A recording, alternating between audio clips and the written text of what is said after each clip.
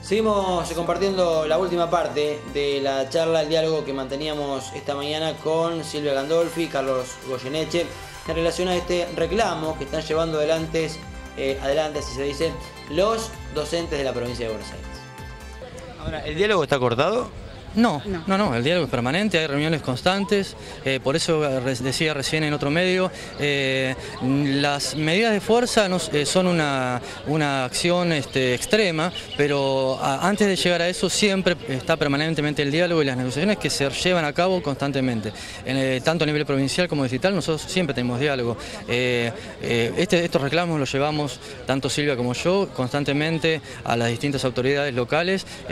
Por ejemplo, otro tema que también está pendiente y que es eh, motivo de constante reclamo son los comedores escolares, por lo cual siempre nos comunicamos con el Consejo Escolar, de donde, donde recibimos muy buena recepción y siempre nos responden gentilmente, pero de todas maneras eh, nosotros esperamos que haya una mayor respuesta en cuanto a la resolución de estos temas, porque eh, también por cuestiones presupuestarias, muchos, en muchos casos los chicos se, quedan sin comer en algunos comedores o comen deficientemente.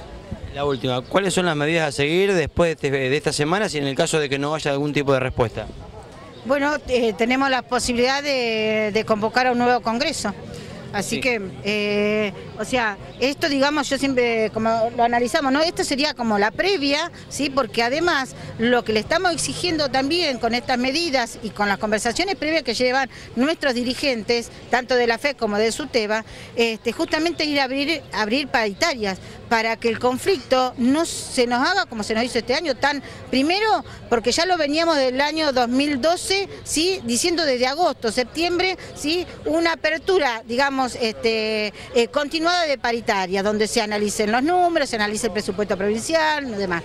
Que además se agrese, tenemos otra problemática, porque en el presupuesto provincial no están incluidos ¿sí? los salarios docentes o el salario de los estatales, porque dependen de, siempre dicen, porque ese es el versito, siempre dice de lo que vaya- vayan a pedir los gremios. Y nosotros sabemos que manejamos este, un índice probable, ¿no es cierto?, de lo que se va a pedir en paritaria, ¿no? Entonces, pero eso nunca, nunca ha sucedido. Y la gente tiene razón de decir, todos los años escuchamos lo mismo de los docentes, ¿sí? Pero quien tiene que garantizar que esto no suceda, quien tiene que garantizar los 190 días de clase, quien tiene que garantizar la comida a nuestros chicos, es el gobierno.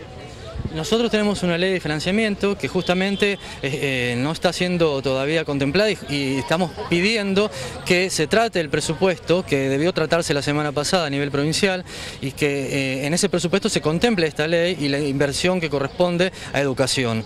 Por eso que repito lo que un poco lo que acaba de decir Silvia, nosotros estamos en este momento haciendo medidas que son un llamado de atención para que estos temas se resuelvan y mañana movilizamos a la Casa de la Provincia de Buenos Aires en Capital a la mañana eh, como Frente Gremial Docente, así que convocamos a todos nuestros compañeros afiliados o no afiliados de, lo- de cualquiera de los dos eh, sindicatos a que nos acompañen eh, y además este, para que puedan reabrirse las paritarias y hacerse como corresponde la discusión salarial.